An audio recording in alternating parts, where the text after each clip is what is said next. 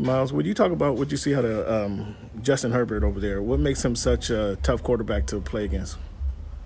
I mean, he's got a, he's got a great arm. He's got a good IQ for um, sophomore in the league. Uh, he got some good coaching, be able to go through his reads and progressions quickly. And then once he doesn't see it, uh, he knows uh, he can uh, knows where his lanes are, knows where he can escape, and, and uh, when he gets rid of the ball. Myles, what, what did you think of that fourth down pass interference call? It was terrible. I mean, you've seen pictures, you've seen videos. It was a terrible call. It is what it is. I mean, refs are, are humans and they make mistakes, but you know, we get held to a high standard and uh, high, high degree of uh, excellence, and you know, so, so should they. How does Nick Chubb playing, practicing against Nick Chubb and Kareem Hunt kind of prepare you guys for the various running backs in the in the league? Get two different styles. Know, they're two different, uh, two different kind of running backs.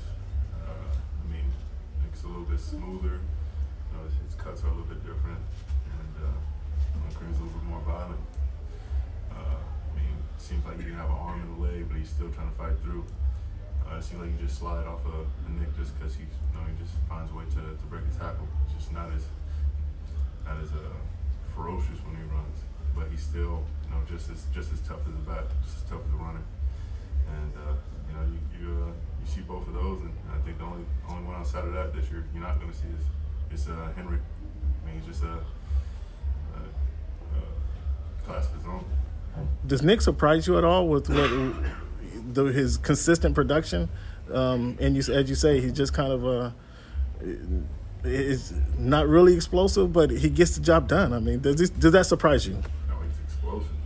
I mean, it just seems it's so smooth. It doesn't seem that way, and uh, it doesn't surprise me at all.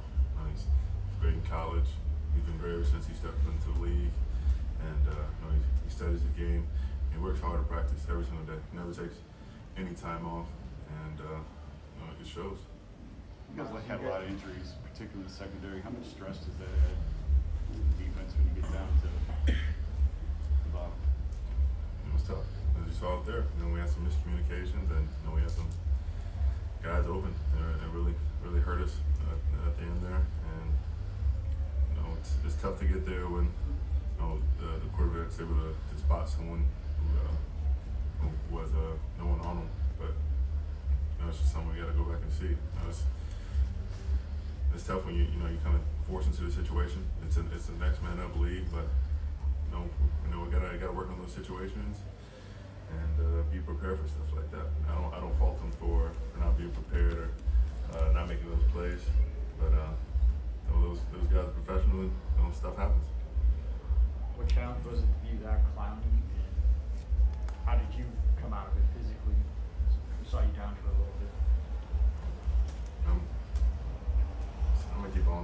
On keep keep on pushing.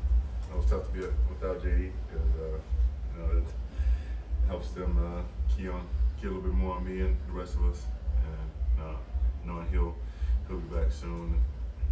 You know he's he's a force when he's out there, and uh, I know I just had to step my, my game up a little bit a little bit higher when he when he's not out there, and uh, I just couldn't couldn't make it when we when we needed to. When you talk about uh, playing against, lining up against Rashawn Slater, what do you see out of him? And then what what do you see for Slater in the future?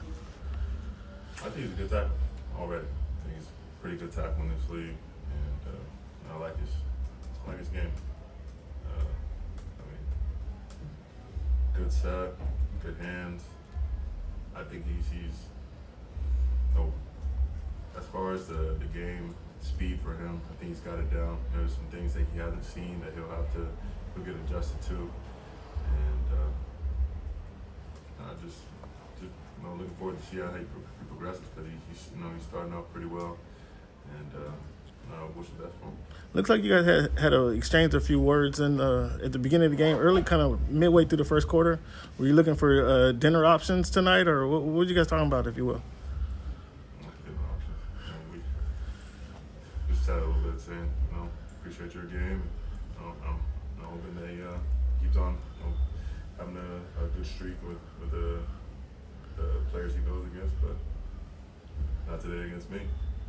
Myles, five five games into what you guys hope will be a long journey. Just how do you feel about everything in light of how this today went? One one. We got we got beat this week. We got 50 hung on our head and like threw for over 400.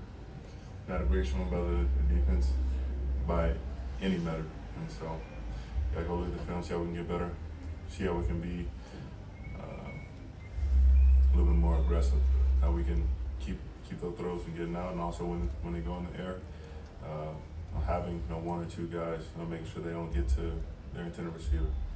And I know Joe's thinking the same thing. We're all thinking the same thing. That you know, we had more than one opportunity to win this game. We had multiple fourth downs, multiple third third downs where we could go off the field, and you know, we didn't make it happen. And so now we got to go back to the drawing board and see uh, how we can do it next time. Do you think, last one from us, is a, you know, similar to Kansas City game, great quarterback, there's gonna be a lot of points. If you wanna go to where you wanna go, how do you solve these kind of shootouts? They're great defenses getting a lot of points scored on them every week. Got to get healthy.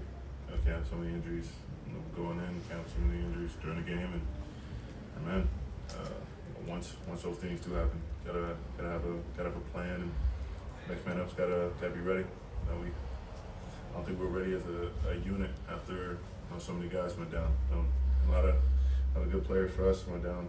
You know, Denzel early, and uh, Malik was in and out. I had a couple plays where I was out, and uh, you know, when, when we're down or when we're out for a play or however long, you got to be able to step up and make it happen. I got to make it happen when I'm out there, and uh, we just have to.